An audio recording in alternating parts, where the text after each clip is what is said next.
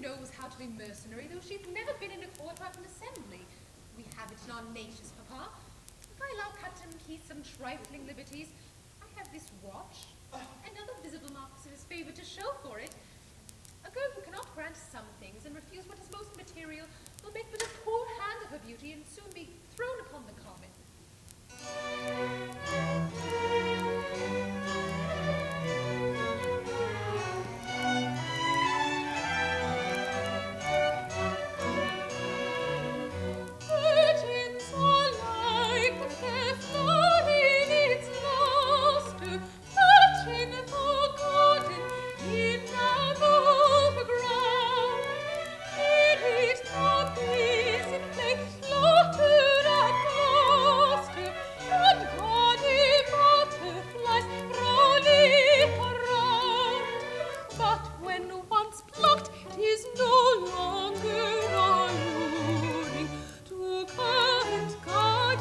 She sent its sweet.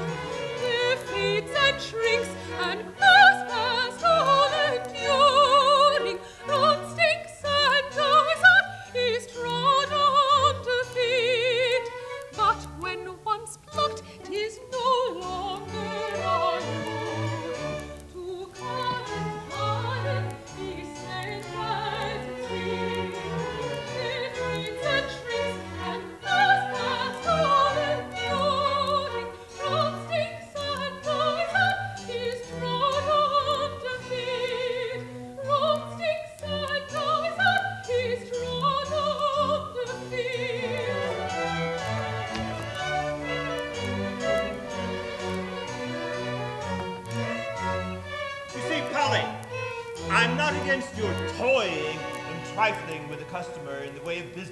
get out a secret or so. But if I find you have played the fool and are married, you jade, you I'll cut your throat, Haze. Now, you know my mind. Oh, Polly is a sad slut, nor he's what we adore. I wonder any man alive would ever rear a daughter, for she must have both hoops and gowns and hoops to swell her pride, and stars and she'd have men beside And when she's dressed with care and cost, more tempting prudently. As mentioned Sir McGilcupper, she flings herself away. Our party is a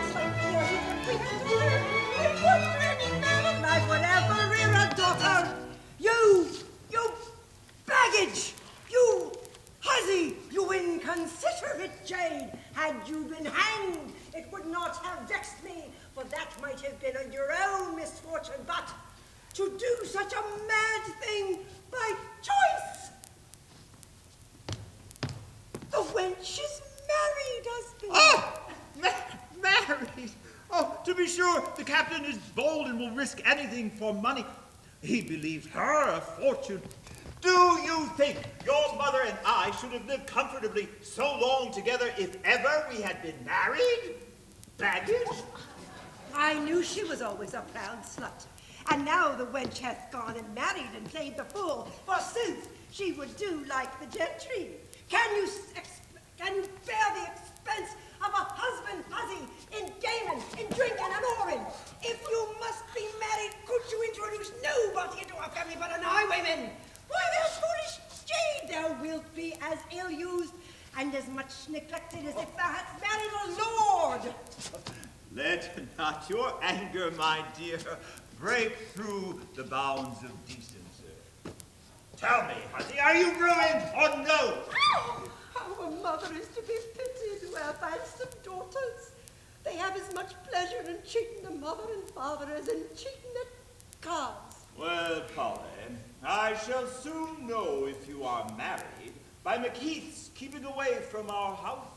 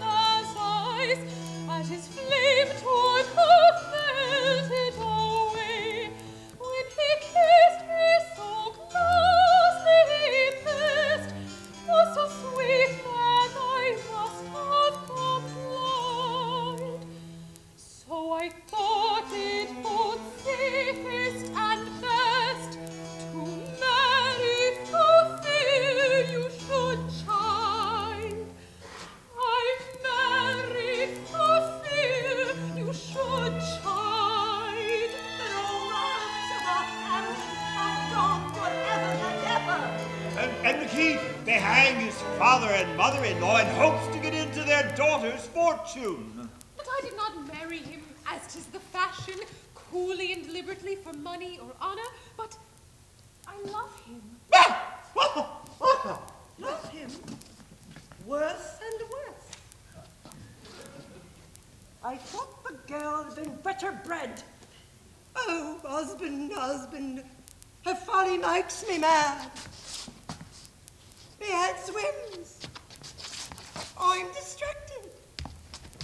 Oh, I can't support myself. Oh, oh, oh, oh, oh. See, Huzzy, to what a state you've reduced your poor mother. A glass of cordial this instant. Oh, oh, my dear. Oh. Oh. oh. Now, Huzzy, this is the only comfort your poor mother has left.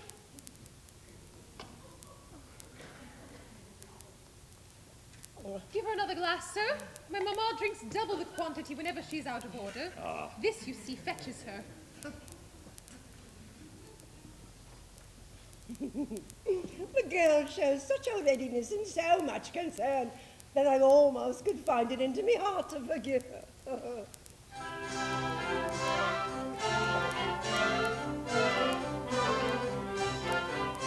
Oh, Polly, you might have toyed and kissed by keeping men off.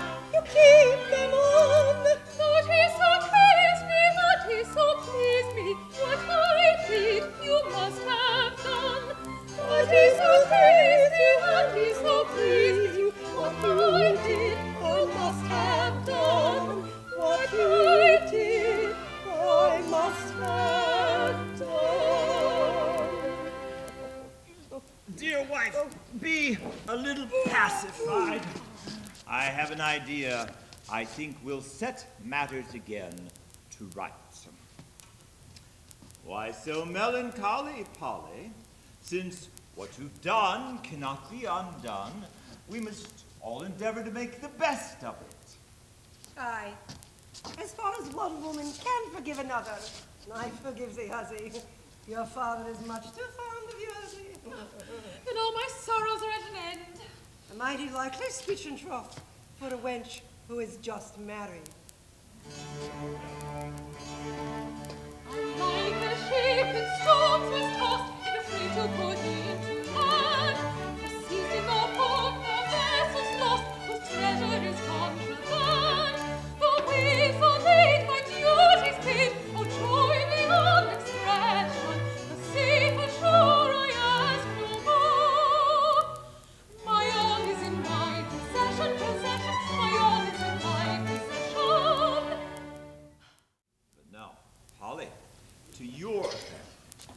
since uh, matters cannot be left as they are, you are married then, it seems. Yes, sir. And how do you propose to live, child?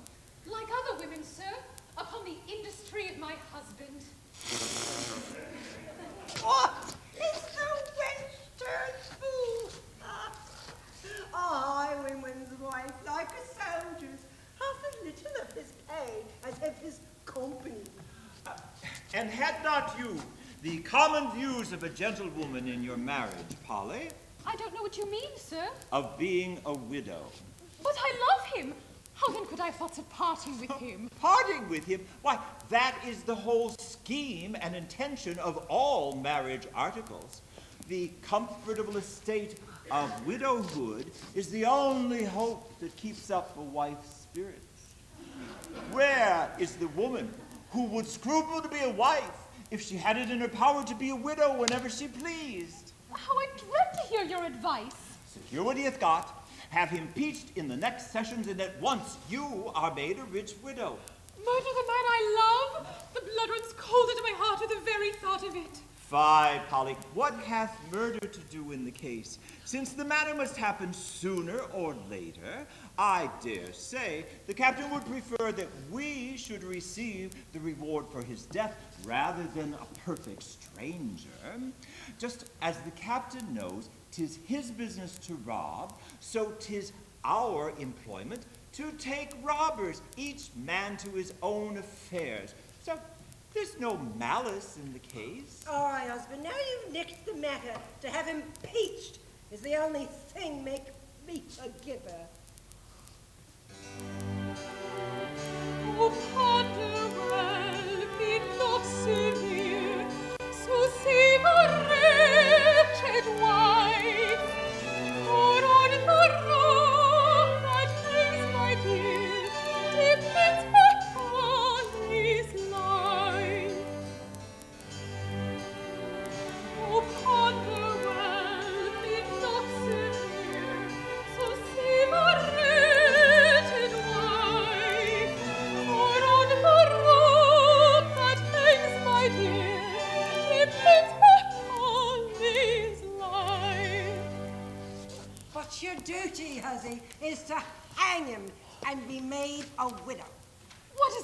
To me? I cannot survive him.